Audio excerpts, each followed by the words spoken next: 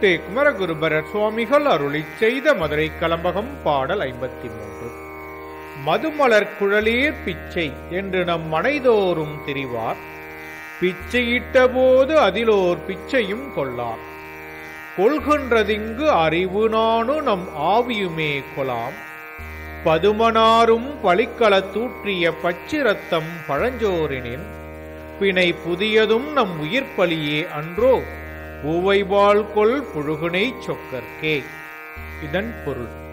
தேன் பொருந்திய மலர்களைச் சூடிய கூந்தலை உடையவளே எனக்கு பிச்சையிடுவாயாக என்று கூறிக்கொண்டு நம் வீடுகள் தோறும் அலைகின்றவர் சிவபெருமான். அவருக்கு பிச்சையிட்ட போது அந்த பிச்சை ஓட்டில் பிச்சையை ஏற்றுக்கொள்வதில்லை இப்போது அவர் வாங்கிக் கொள்வது நம் அறிவையும் நாணத்தையும் உயிரையும் போலும்.